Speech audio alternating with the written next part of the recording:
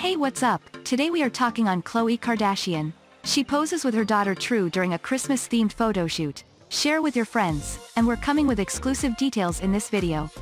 She is well known for showing off her sense of style on her various social media outlets. And on Sunday morning, Khloe Kardashian showed off her eye-catching Christmas with a trio of shots that were shared to her Instagram account. The reality television personality appeared to be enjoying the holiday season as she posed with an individual dressed as Santa Claus and held her daughter True, aged 3. Kardashian sported a highly reflective silver dress that obscured her impressive physique during the photo shoot. The media figure's outfit notably featured several sequin portions that had been designed to resemble snowflakes. Her gorgeous blonde locks fell onto her shoulders and backside and complemented the reflective shade of her dress. True also wore a silver dress that shone brightly while she posed with her mother. Notably absent from the photo shoot was True's father, Tristan Thompson, who has maintained a rocky relationship with Kardashian for several years. The media personality shared a cryptic message to her Instagram story on Sunday that appeared to make references to her estranged partner's behavior. But before details, please subscribe our channel, and hit bell icon, and then select the option, all notifications, so that we can keep you in touch next time.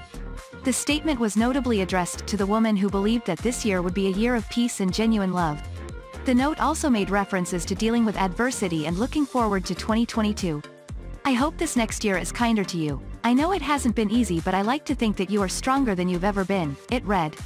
Kardashian and Thompson began seeing each other in 2016 and developed an on-again off-again relationship over the next few years.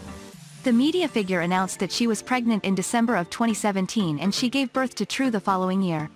The pair went on to separate and mend their differences on several occasions over the next few years. Earlier this month, personal trainer Maralee Nichols gave birth to a baby that she claimed was fathered by Thompson. She is suing the professional basketball player for child support. The athlete had previously acknowledged that he had an affair with Nichols and requested genetic testing. Thanks for watching and thanks for your precious time. We hope that you found this story interesting. Please comment your views down in the comment section. Share this story with your friends and we'll see you next time.